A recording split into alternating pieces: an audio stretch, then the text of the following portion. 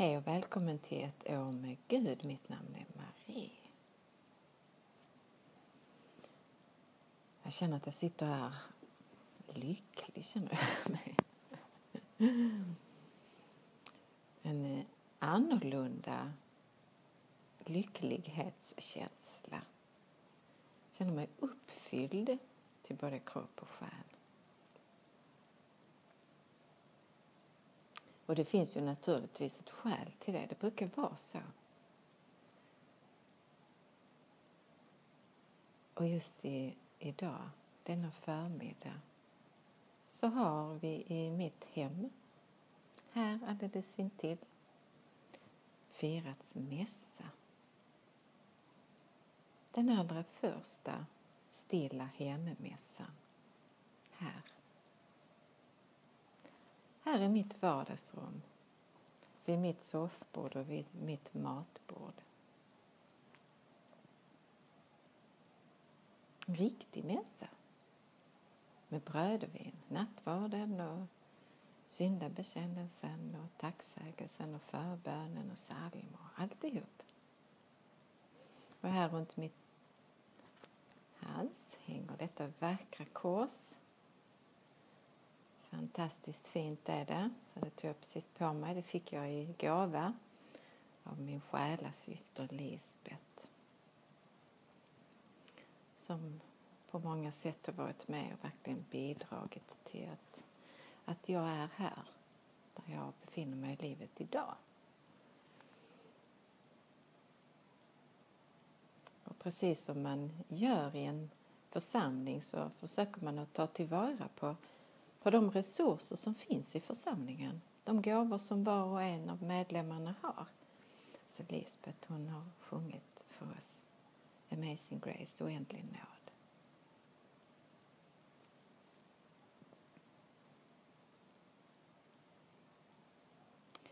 Så när jag ser vilken text det är idag så kan jag bara le med hela ansiktet.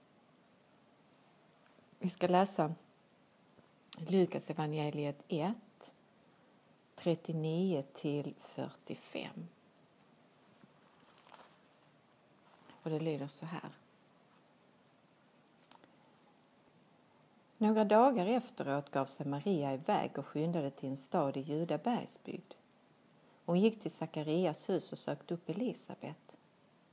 När Elisabet hörde Marias hälsning sparkade barnet till i henne och hon fylldes av helig ande. Hon ropade med hög röst.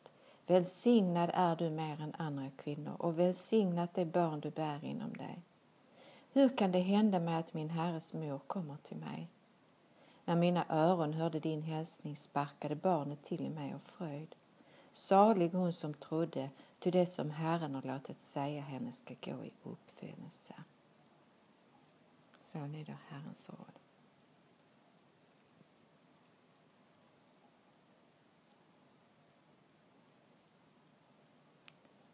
Och jag tänker att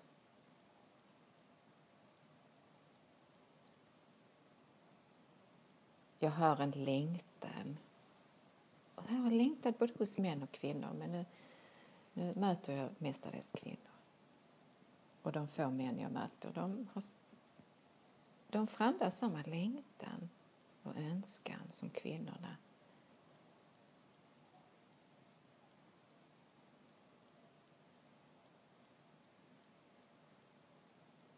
en önskan och längtan och vilja att, vilja att förstå vad är min kallelse? Vad är mitt uppdrag för Gud? Jag vill vara med att förvalta och föröka kärleken i världen. Jag ser att det behövs mer än någonsin. Men hur? Och jag tänker att det, den frågan, hur, den är verkligen berättigad. Det är samma fråga som Maria säger till eh, ängeln Gabriel när han kommer precis här i, i stycket innan och berättar att hon ska bli havande med helig ande. Att hon ska föda Guds son. Och då säger hon precis det. Hur ska det ske? Jag har ju aldrig haft någon man. Och då tänker hon ju på människors vis. Att om hon ska föda ett barn så är det ju helt naturligt som människa att ja, men då måste jag ju ha haft en man. Jag kan ju inte bli gravid utan en man. Men Gud, han, han är större än människan.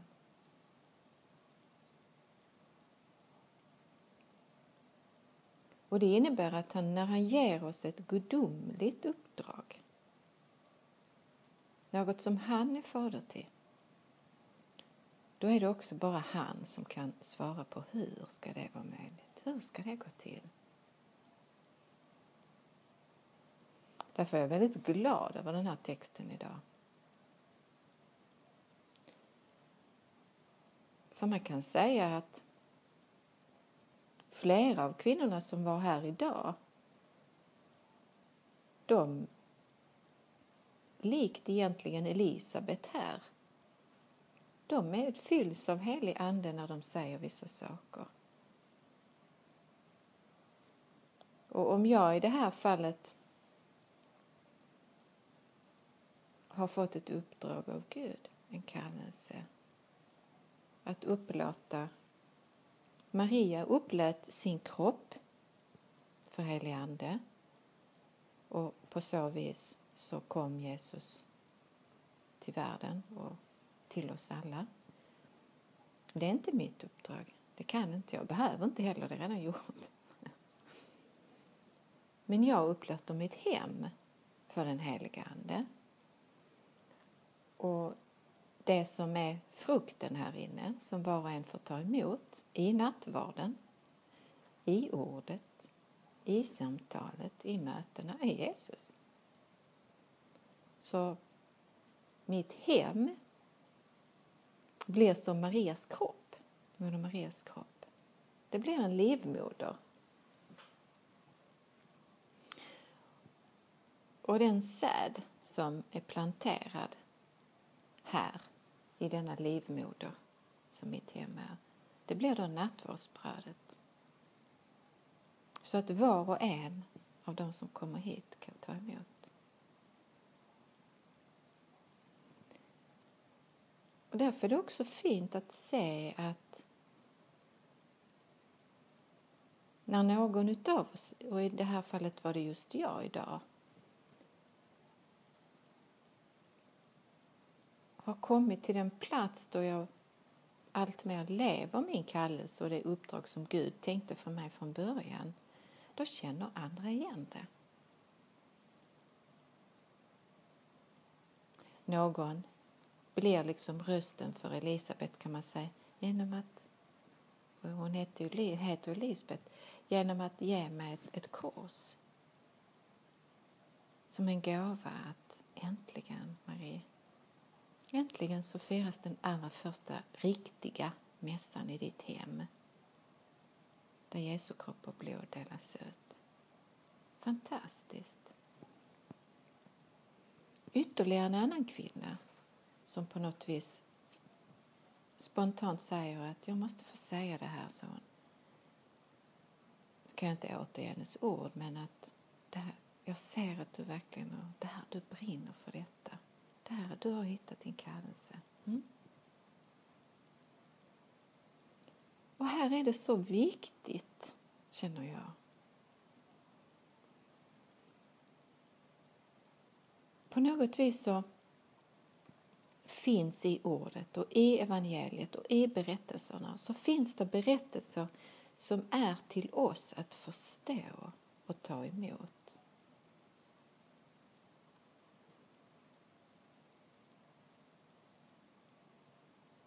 här bekräftar de varandra.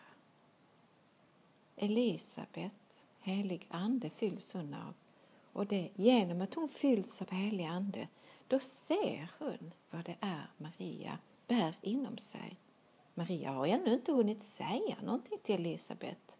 Hon kommer gående. När Elisabet hörde Marias hälsning sparkade barnet till i henne och hon fylldes av helig ande. Elisabet har blivit gravid på grund av att Gud har gripit in. Och just eftersom förmodligen av det skälet att Gud har hjälpt henne att bli fruktsam så att hon kan bli havande på ålderns höst så är det den delen i henne som, som känner igen dig den andra. Och här är det fina i speglingar när de sker. Vi kan spegla våra dåliga sidor.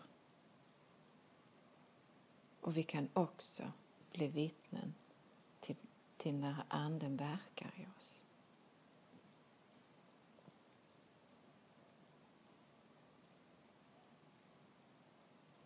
En sak som jag inte har tänkt på förut som stod här i texten som jag nu när jag läste den. Den har jag läst den här texten rätt många gånger för jag tycker väldigt mycket om det här.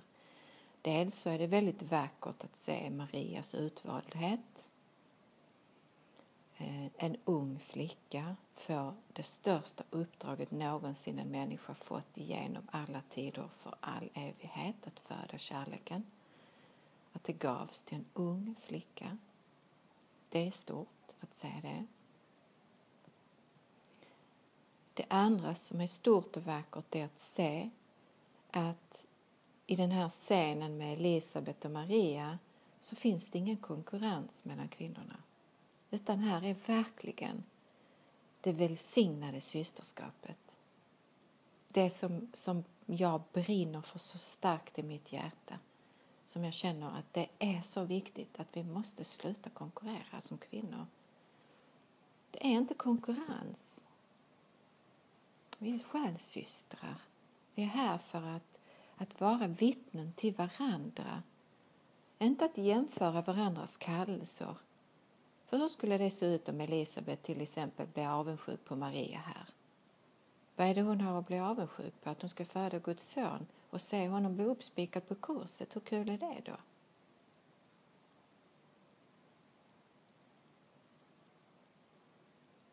Det kan i det liksom den första anblicken kännas som oh. Men det innebär också ett enormt lidande.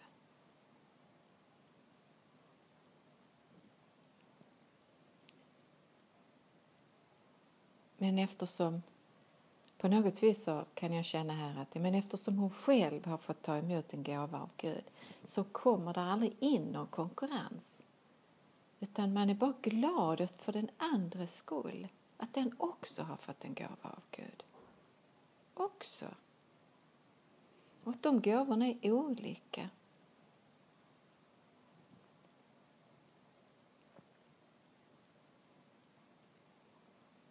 Elisabet kommer ju att sen föda Johannes döpare. Så det är ju ett väldigt betydelsefullt barn hon bär inom sig. Hon bär det, den det barn som ska gå före och bereda väg för Jesus. Som ska döpa Jesus. Så de här hänger ihop. Det är inte att vara bättre eller sämre. Det är bara att det är olika uppdrag. Men där alla behövs. Därför var det fint idag att fira mässa och säga då till exempel att men jag kan inte vara den som bär fram nattvarden. Jag är inte präst. Där i ligger inte min, min stora passion. Att liksom hålla mässordningen.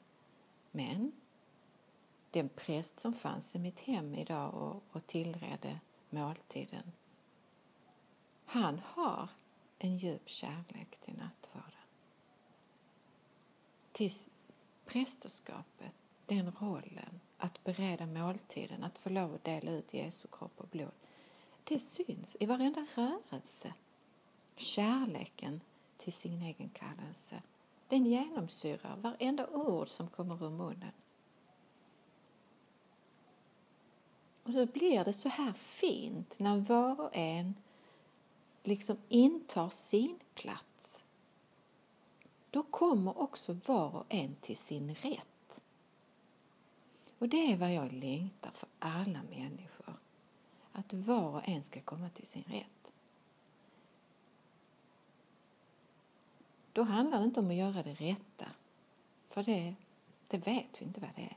Att komma till sin rätt är på något vis att ja, men där bara klickar allting. Där, där, då, där kommer elden inom oss till gagn. Då den brinner av sig själv och är till, till ljus och värme och välsignelse för andra. Och då är det som om att då träder en, någon, någon naturligt fram i oss.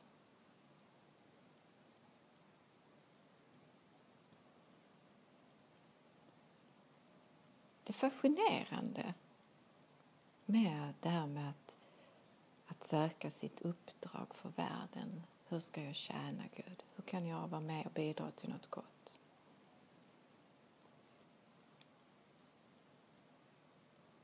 Jag tror ingen av oss har så höga tankar om oss själva att vi tror att vi ska kunna göra det Gud vet att vi kan. Hängde ni med där nu? Vi, vi tror inte att vi klarar av saker. Därför att vi ofta, många gånger, kanske tror att vi ska göra det på egen hand.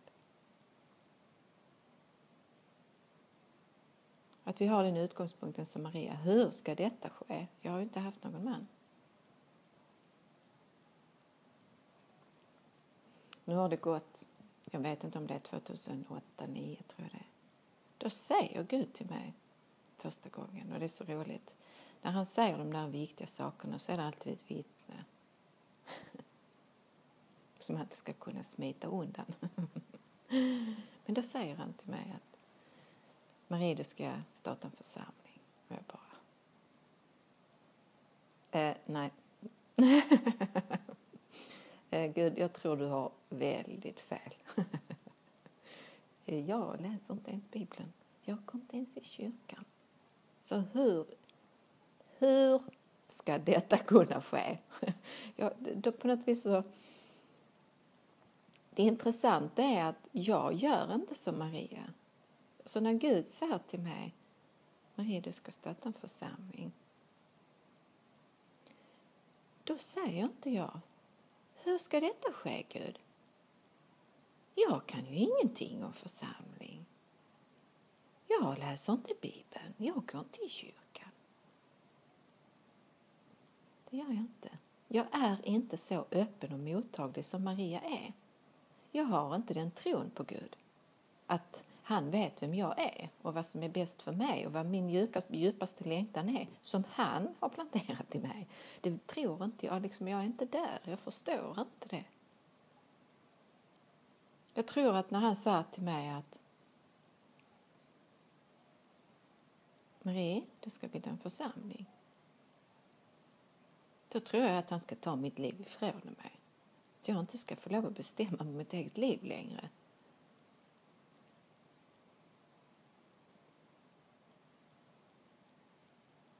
Vad jag inte vet är att när jag gör det jag är här för att, som jag är ämnad för att göra, när jag kommer till min rätt känner jag den här friheten. När jag inser att det är Gud som har planterat de där djupa fröna i mig av längtan efter en det ena och en det andra.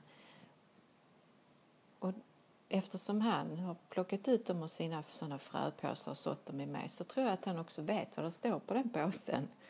Den här behöver bli satt i sån här jord och den behöver så här mycket sol eller skugga. Och den blommar då och då. Han vet det.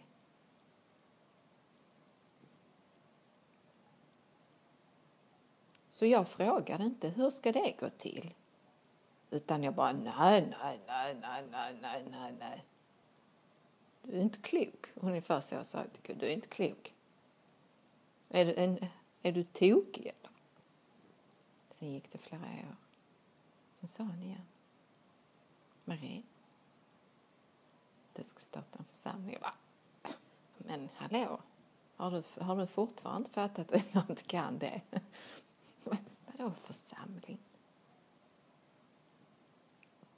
Men på något vis så landade det ändå på det sättet att jag vet att jag satt med en vän och vi pratade om att ja men vad församling, vad kan du vet så, mm, vad menar han då? Församlingen, men det är att samlas inför någonting. Någon form av gemenskap, en community, så började jag leka med orden. Mm. Sen utan att jag la märke till det så hade jag haft både den ena communityn efter den andra och på något vis hållit en gemenskap, en församling. Tills det plötsligt av sig själv bara kom så här. Att jag var en, ändå bara alldeles nyligen ställde prästen en fråga. Är det möjligt? Så jag vet ju att du har en sån här liten rolig väska. Och jag vet ju att du ger nattvarden till folk som liksom hemkommunion om det är någon som är sjuk eller döende och så. Går det? Liksom? Går det att hålla mässa hemma? Då ställer jag den fråga som öppnar. Går det att hålla mässa hemma? Ja, säger han.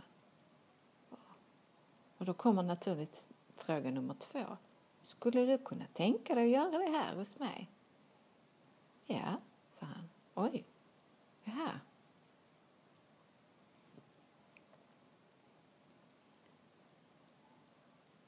Men då hade jag också, då hade också Gud puttat in mig i kyrkan för doink. Han föste in mig där för tre, fyra och ett halvt år sedan. När jag var helt slutkörd. När, när uppdraget som jag hade då var större än min egen förmåga. Jag hade ett så stort uppdrag där jag höll en community och en gemenskap, ett projekt i helande. Och där det uppdraget var mycket, mycket större än min kapacitet var. Och bara för att liksom dra det till sin spets så brast alla mina yttre fördämningar och trygghets bara för att verkligen se Marie, det här är mycket större än du. Och när uppdraget är av en gudomlig, på en gudomlig nivå då, då är jag helt beroende av att det är Gud som kommer med den kraften in i en gemenskap eller i ett projekt. Jag är helt beroende av det. Låg batterinivå står här nu igen. Exakt. Då måste man så här, så måste man ta upp extra batteri. Det här är Gud. Gud är en liten Oj. Där föll. Föll hela, föll hela den vackra scensättningen. den är verkligen inte avancerad. Det är en av de saker jag har lärt mig med åren. Om jag ska sätta någon sån här liksom höjd för hur saker ska vara, för att det ska vara perfekt och det ska vara proffsigt och det ska vara ditten och det ska vara datten och på ett visst sätt, och, ja, då blir det aldrig av. Så jag har lagt ner all prestige.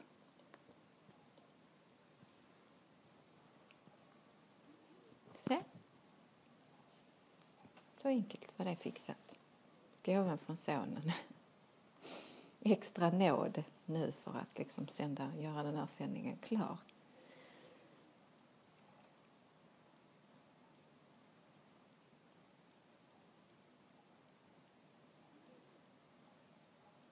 Så det är fint att sitta här i den här sändningen idag och prata om den här texten och kunna vara ett, ett levande exempel på det. Att Gud ger oss uppdrag.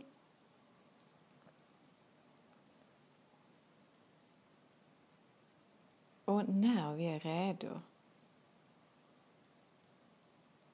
ja men då plötsligt så bara faller det sig naturligt. Men det, det går inte över en natt. Och tittar vi på Maria, om vi tittar tillbaka på hennes roll som Guds moder så har hon sin son som ett vilket annat barn som helst ända fram till Jesus är 12 år. Vi har, det finns ingenting i berättat om Jesus innan han är 12 år. Utan när han är 12 år så går de till templet. Och där blir hon av med dem, honom. Han följer inte med liksom följet tillbaka och så upptäcker hon det. Och så hittar hon dem, honom sen in i templet och han liksom, varför oroar du dig? Jag är ju som min fader. Då är det precis som att ja, men, då har hon som mamma och Josef som styvpappa nått den där gränsen. Ungefär som min mobil här nu. Att, så, nu har jag nått gränsen. Nu måste det in en extra kraft. För att liksom slutföra uppdraget. Och där liksom Fram tills dess så har han varit ett barn de har förvaltat, alltså tagit hand om precis som alla, alla vi andra föräldrar tar hand om ett barn och uppfostrar ett barn. Ger det mat och försöker ge det kärlek och trygghet och vägledning på olika sätt. Men så kommer det till en punkt då Gud måste in. Därför att det är tänkt att växa och bli någonting mycket större som är till välsignelse för andra.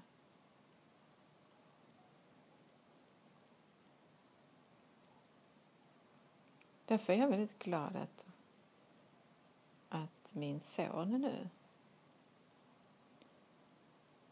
konfirmerade sig förra året.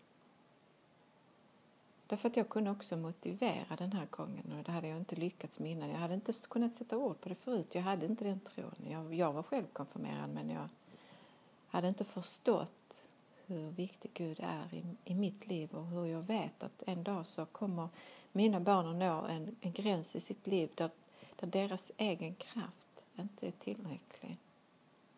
Därför var jag så glad att, att min son till slut gick, sa ja till att konfirmera sig för att jag, jag kunde också sätta ord på det men det kommer en punkt i livet, älskade son, då jag, inte, jag kanske inte är här Eh, men där du behöver gåvorna från Gud som jag kan inte ge dig dem, din pappa kan inte heller ge dig dem. Vi räcker inte till. Men Gud kan. Gud kan. Och tittar man på Jesus så ser man att han går dit där i templet när han är 12 och sen dröjer det ytterligare 18 eh, år innan han kliver ut och är det uppdraget. Och det, för mig vilar jag i det och tänker att ja, det gäller ju, det, så, det har hjälpt mig.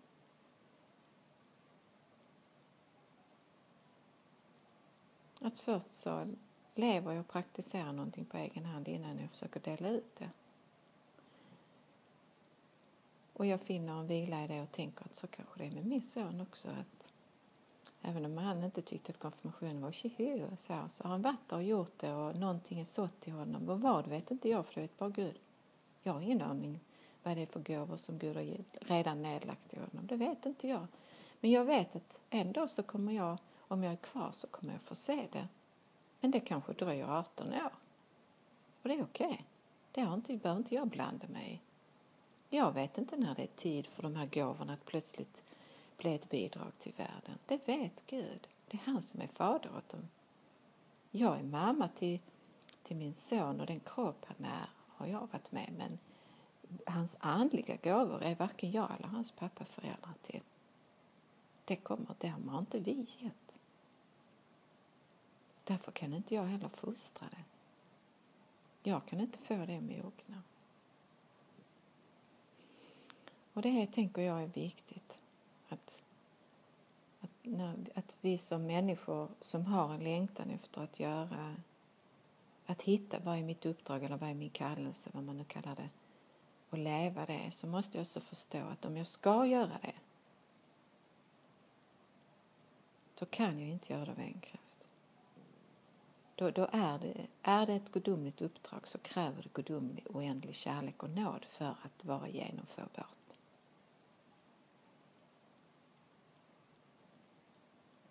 Så då måste jag öppna mig för den heliga Ande. Och så får jag öppna mig för den vägledningen. Och så får jag också inse att Gud håller koll på, på tidsschemat. Det är han, han vet när det är dags att sätta igång och när det fortfarande är tid att vänta och fylla på och genomsyras. Och han såg till att jag under nu snart fyra och ett halvt år har genomsyrats av nattvården och mässan och funnit så stor vila och så stor glädje och så, så Ja, den har varit till en sån enorm välsignelse för mig så att steget att känna att kan jag bereda dig mitt hem i en enkel, intim, familjär stämning? Kan jag istället för att säga till kvinnor, gå till kyrkan, säga kom hem till mig. Kom hit. Samtala här om din tro och Gud och Jesus och ta emot nattvarden här och ät en god macka också samtidigt och prata och samtala och bara njut. Så kan jag göra det nu. Jag behöver inte sända människor till en, till en församling där jag inte vet hur prästen är, diakonen, utan jag kan säga kom hit då. För jag vet vad jag erbjuder här. Jag vet vad Gud gör här. Mm. Tog bara lite till. Men det är fint att dela det. Så vi behöver de här vittnena. Elisabet och Maria, de tycker jag skildrar det allra vackraste när, när systerskapet, när det liksom bara bevittnar varandra, förstärker varandra, gläds med varandra, välsignar varandra. Och där finns ingen konkurrens och avundsjuka. Och mitt i det då så finns då Jesus, barnet och det heliga och det mänskliga barnet och det heliga barnet och kärleken som strömmar dem emellan. Ja, så. Så skulle jag, så vill jag leva. Mm. Mm. Tack för idag. Hoppas vi ses imorgon.